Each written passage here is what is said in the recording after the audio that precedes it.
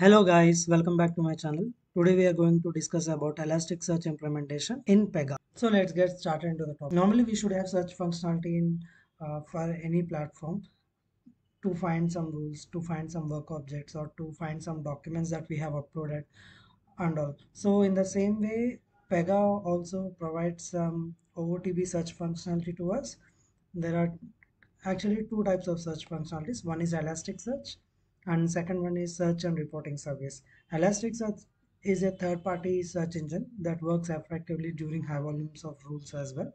And search and reporting service is like uh, externalizing the full text search functionalities into an independent microservice. This video is all about uh, Elasticsearch, how it is implemented in Pega. So in Pega platform, you have to go to configure, system, settings, and search. Here you can see indexing, search indexing is enabled over here. And uh, if you scroll down, there are three tabs over here, default, dedicated, and custom. So before that, I would like to search one section for you guys. This is a delegate section. Now I'm searching this. See it is available in this respective class and this is the section and this one. Now I will disable this and I will refresh this and I will go for search.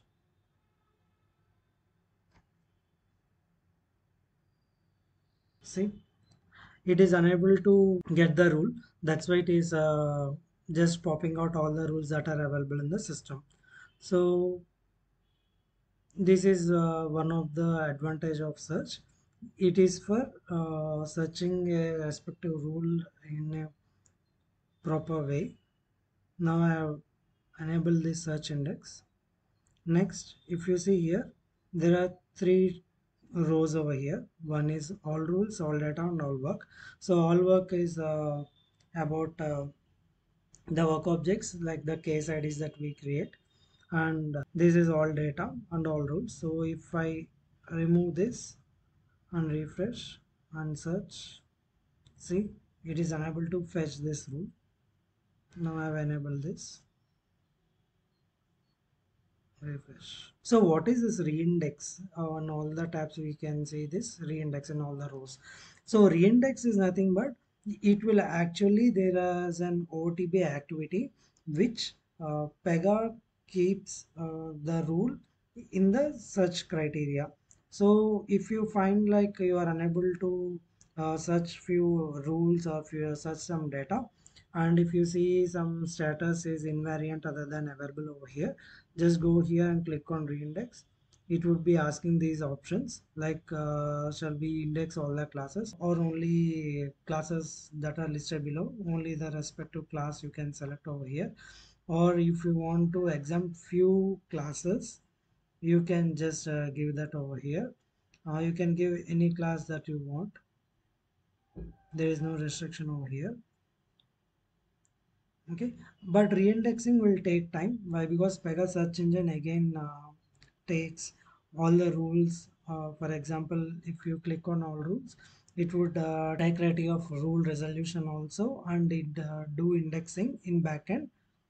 And this is dedicated column where uh, you can see these are the classes that are available in our application.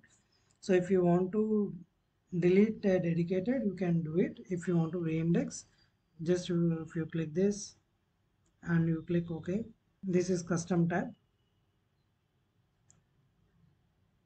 Now if i scroll down if you want to index work attachments the attachments that we add to a case you can give this and uh, you can uh, specify like uh, how much uh, size file you want to index it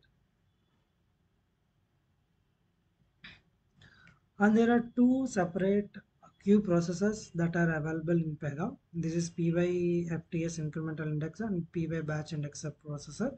These two are the key uh, indexes. Why? Because when you create a new section, the particular queue processor makes sure to pick the case and it keeps in our indexing and it will enable us to search the rule in uh, search bar.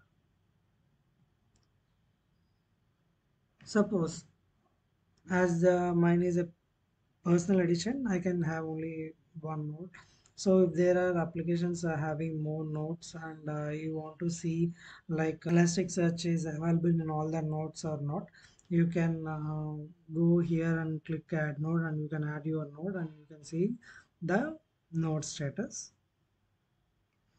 And here if you want to monitor uh, search alerts you can give some frequency over here and uh, suppose uh, when system is doing some re-index if there are some changes to this uh, particular system like in production you want to know if someone is doing uh, illegally uh, this configuration if you want to know that you can give here an email account and the email addresses you want to get the update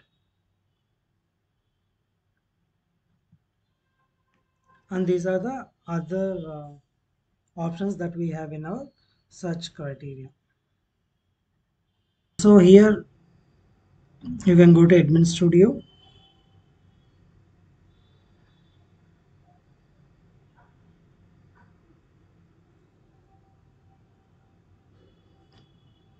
Resources.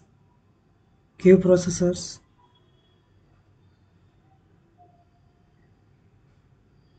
you can see this particular queue process is in uh, running state. And the other one py batch indexer this is also in running state. So if you face some issues uh, during indexing and you feel like some indexes are not working properly or you are unable to find some rules then uh, it's better to go here and check whether someone has stopped this uh, particular queue process. You can go here and stop it if you want your background processing for the search to be stopped if not you can go here and click on start. So in this way you can uh, troubleshoot the elasticsearch as well. Thanks for watching this video. Hope you have learned a new concept in pega. Thanks for watching this video. Please stay tuned to this channel for more Pega videos.